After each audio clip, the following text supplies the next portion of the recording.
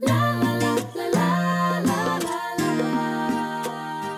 and welcome to Elizabeth's Craft Room and today we're going to look at a stamp set uh, called Bird Banter and I really like this. This is in the new Spring Summer catalogue which is this one here and this was one of the first sets that caught my eye. Um, it's got little kind of uh, words in there that are appropriate to the birds. So something like um, just a little toucan of my appreciation, which I've done this one here. You can see. And it's got these really cute little um, budgerigars. And we've got um, a little birdie told me it was your birthday. And then they've also got, obviously it wasn't an early bird, so that's him, you're doing a, a late birthday card. And it's got little bits and pieces on here, little flowers and leaves, and even a little birthday hat. Right, so I'm going to go ahead and um, make a little card with this today. I'm going to start off with my background piece and just to decorate the background um, with a little heart. And I'm using uh, Pear Pizzazz cardstock and ink and just doing a little bit of um, random stamping all over and just building up a bit of a background so we haven't got plain card. Go. And then I'm going to have a layer of, um, this is cherry cobbler on here.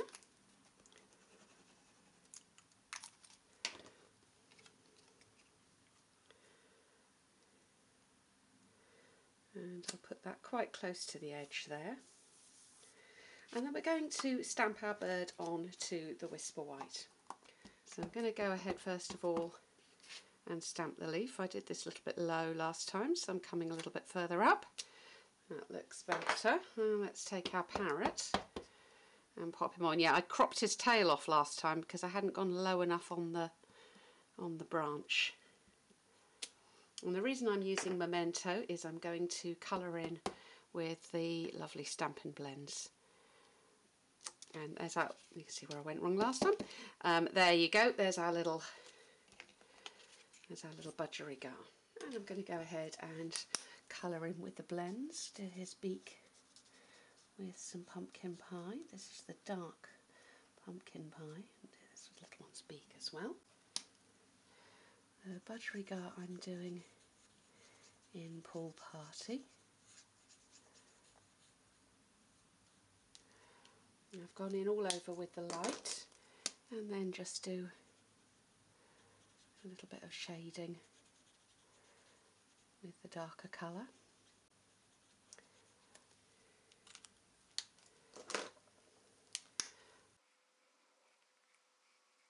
Just add a little bit of colour to the branch that they're standing on. And I'm going to use the cherry cobbler for his tail. Going in with the darker one and I think I'll do his wing as well.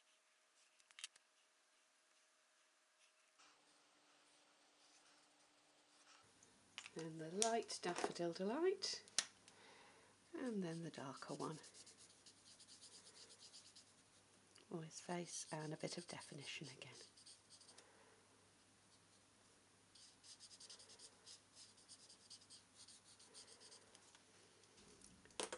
And that gives us a nice vibrant colour for our little birdies which we're going to pop on. Now before I actually stick that on there's something else I want to add and I want to add something um, that I'm going to make with a set of dies called the Celebrate You Thinlits. Now these are in the Celebration catalogue. Now normally we have smaller items like a little stamp set which you get for free with a £45 order. But sometimes people get a bit excited about what's in the catalogue and they might spend 90 and if they do they can choose and you can indeed choose um, to get a set of dies which is quite an unusual thing. So let's bring in the big shot and these dies will cut out the words celebrate amazing you. I think for what I can fit onto this card I'm just going to go for celebrate you and I'm going to cut that out in the Daffodil Delight. And these are beautifully well behaved. They pop out very easily, as you can see. So a little celebrate and you. There we go. And just to show you, I'm not going to use the amazing today. And let's just put that up against the green so you can see it. So that's really delicate, very pretty. And I have pre-cut another set of these because what I found works really nicely um, with these these uh, words is to layer them up. Now you can either go yellow on red there and it just gives you this really 3D look or red on yellow which is what I'm going to do this time. I'll start off sticking my yellow and I'm going to use just tiny dots of um, Tombow multi-adhesive to stick this. You could use the fine tip glue if you prefer that but Tombow is my favourite so I'm going for that. So I'm going to stick the Celebrate on first.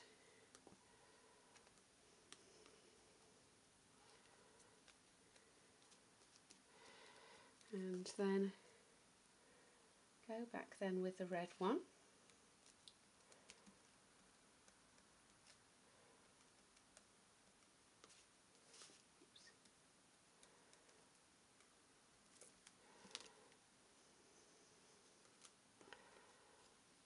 and I'm just going to offset that just slightly to the left and up.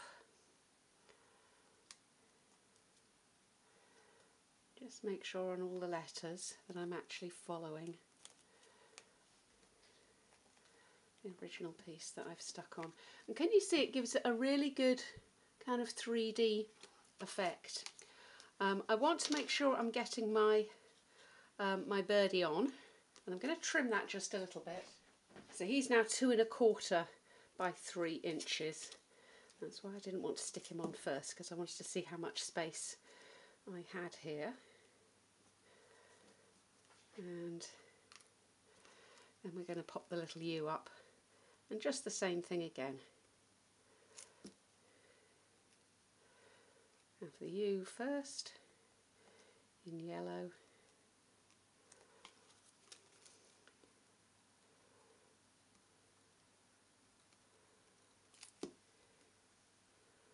and then just slightly offset in red.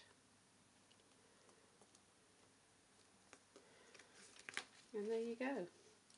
And you can see how those letters really step that card up. Now you could just stamp a greeting on there and that would that would be pretty. You know, as I have with these. I've added a little bit of ribbon on this one and a little bit of uh, washi tape on that one. So Tell me which one you prefer. Do you like the one with the fancy letters? I really do. And have a little look in the catalogue at Bird Banter. And if you would like to buy it from me, if you pop down to the bottom below this video, you will see um, a link to my shop. Thanks very much for visiting Elizabeth's Craft Room today, and I look forward to welcoming you back again soon.